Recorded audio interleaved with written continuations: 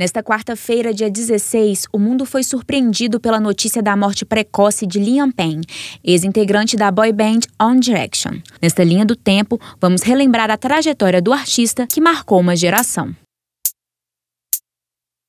Tudo começou em Wolverhampton, na Inglaterra, onde Liam nasceu. Sua primeira tentativa de alcançar a fama foi aos 14 anos, quando fez uma audição para o programa The X Factor em 2008. Apesar de seu talento, o jurado Simon Cowell aconselhou ele a voltar em dois anos, e foi exatamente isso que ele fez. Em 2010, Liam voltou ao programa e foi colocado junto com outros quatro competidores. Nascia ali a One Direction, que rapidamente se tornaria a maior boy band do mundo. Nos seis anos seguintes, o grupo lançou cinco álbuns de sucesso: Up All Night, Night, em 2011, Take Me Home, em 2012, Midnight Memories, em 2013, Four, em 2014 e Made in AM, em 2015, em uma carreira meteórica.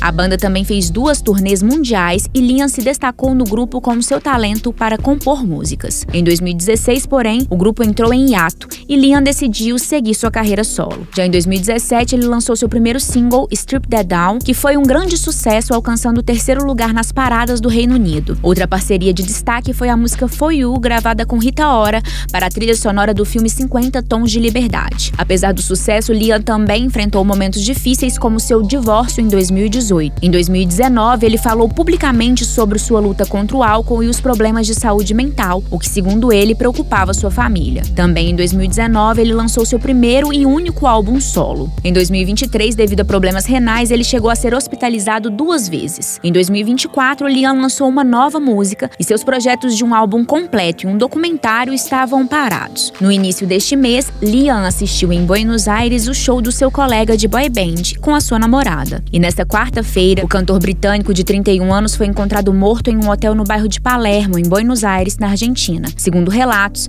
ele caiu do terceiro andar do prédio. Antes da queda, a polícia já tinha sido acionada por uma chamada de emergência que descrevia um homem agressivo, possivelmente sob o efeito de drogas e álcool. Menos de uma hora antes da imprensa argentina noticiar sua morte, ele fez vários posts no Snapchat. Nas redes sociais do cantor, fãs do mundo inteiro reagiram ao anúncio de sua morte e se despediram do astro. Na Argentina, onde ele faleceu, admiradores se reuniram em frente ao hotel para prestar homenagens, acenderam velas, cantaram músicas da One Direction e fizeram minutos de silêncio. Agora, as autoridades locais investigam as circunstâncias da morte de Liam Payne.